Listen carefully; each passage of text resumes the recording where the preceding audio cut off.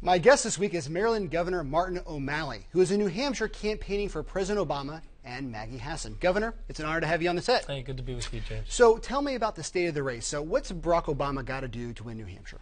Well, I think the president needs to lay out the clear contrast between an economy that's growing and moving forward and one that is shrinking and going back into recession.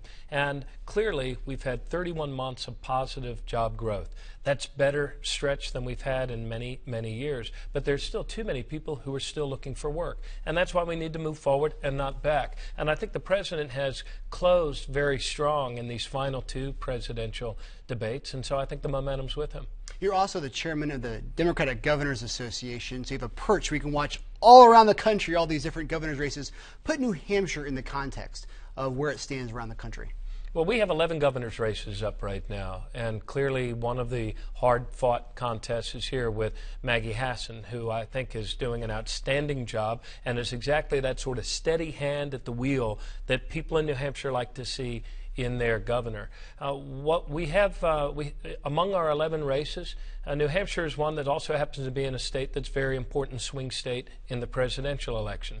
Other states that we have up include Washington State mm-hmm. and uh, North Carolina, and also Montana and Missouri and West Virginia. I mean, none of those are, are particularly easy uh, states in, in this polarized time. But the common thread that unites all of our Democratic governors is that they believe that job creation should be job one, that there is no progress without jobs, and that by making better decisions today, we can create more opportunities through affordable college and harnessing the power of the innovation economy. Well, Governor, thank you so much for coming in.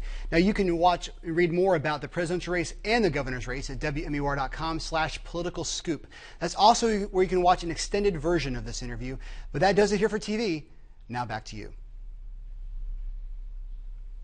Governor, we have a few Man, extra we have a few extra moments. I know it's quick on TV. We have a few extra moments here online.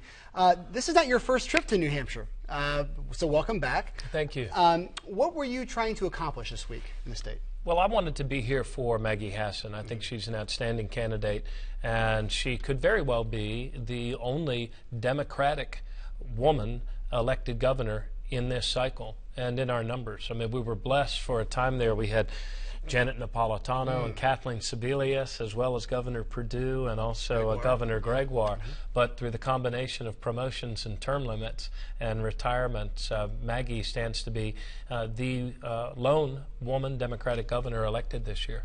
I think the last time we talked, I interviewed you guys with the Boston Globe, and you were up here for, for Hillary Clinton. Uh, right. Uh, what do you make in terms of after this election? Will we see you up here as a presidential candidate, possibly? Oh, golly, I don't know. I'm, I'm absolutely focused on these next days that remain in this campaign. Uh, and also doing the things that I need to do as governor of Maryland. We've been able to accomplish some important things in tough times, and a lot of the governors have, and that's why I'm so very proud to be able to serve as the chair of the DGA this year and to kind of return, excuse me, the favor that they uh, lent to me in my reelection. But creating good schools, making college more affordable, uh, harnessing the innovative assets that exist in every state so that they create jobs. These are the things that effective governance is all about. And I've been honored to serve the people of Baltimore in doing that. So, and Maryland. Excuse me. tell us a little bit more about the story of, of, your, of your, leadership in Baltimore and in Maryland. What are the, some of the prouder accomplishments you've had? Wow. Uh, well, I served as mayor of Baltimore, and I was elected in 1999. And the people of Baltimore over these last 10 years have now achieved the biggest reduction in crime of any of the major cities in America. You're that a leader is, on CompStat, for example. We borrowed CompStat mm-hmm. from New York, where Bill Bratton and Giuliani had used it to such great effect, and and we did that in Baltimore. And we also expanded it to every city service. Started doing something that I didn't know was revolutionary in municipal government, but we started measuring performance. You know, government's great at telling you what the inputs are, how much it will cost in this year's budget. We're not as hep and not as good at telling you what the result is and whether we're any better at delivering that result this week than we were last week. So, with openness, with transparency, with performance measurement, with using the internet to empower all of the shareholders in this common platform of our state government or our city government, we've been able to make some good progress on public schools in our state for the first time ever. But in the middle of this recession, we were named by Education Week magazine as having the number one public schools in America. And we've invested to make that happen. Uh, we've also held the line against increases in college tuition, and U.S. Chamber of Commerce named us number one for innovation and entrepreneurship. So I, I believe that progress is a choice. The job creation is a choice.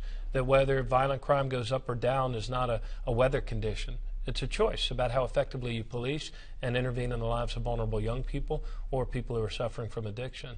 Now, I'd be curious to get your perspective on this. You, have been in politics for much of your life. You, you obviously enjoy it. You left college to go work for Gary Hart in Iowa, obviously through law school, working for Barbara Mikulski.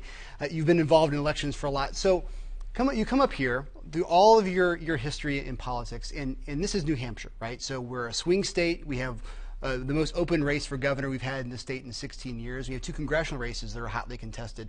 Uh, what is it? What does it mean when you come to a state like this where politics uh, is, is so ingrained and, and, so competitive? Well, I think it means that you have a, a, uh, a voter that is very well informed and also that's had the opportunity to meet face to face with with national leaders, state leaders, local leaders. I mean, no, I mean, we're never infallible. Every election is the best decision we can render at the time, and then we improve upon that. We like to hope with every subsequent election. But I've always found the people of New Hampshire are uh, uh, remarkably polite, especially given the number of r- repetitive contacts they must receive from people seeking their vote. And when I first came up here, I guess it was in 1984, I recall knocking on doors in Berlin mm-hmm. and thinking to my, I mean, being being scared out of my wits because uh, coming out of your shell as an introvert to do that. But I remember at the end of the day thinking to myself, my goodness, I probably knocked on 60 or 70 doors, and, and every single person was as polite as could be, even if they hadn't decided they were going to be for my candidate. You're also really into music. Is there a song that's been in your head the last couple of days? Ooh, a song that's been in my head. You know, I, I listen a lot. My kids kid me about this on, on XM. I listen to Coffee House a lot. Yeah. And Luka Bloom mm-hmm. is somebody I like very much. So I've uh, been listening a lot to his uh, song that they're playing over and over again on there called Heart Man. And H E A R T, Man. Also saw David Gray the other night. Did you? In Baltimore. He yeah. was very good too. Yeah. So, of course, once you see a performer, all the stuff that you've been kind of vaguely listening right. to becomes a, a much more uh, enjoyable uh, experience of, of sight and sound. Well, Governor, thanks so much for coming in. Hey, thank you. Hopefully, we can see more of you. Hey, I hope so too. Thank you. And thank you for watching WMUR.com.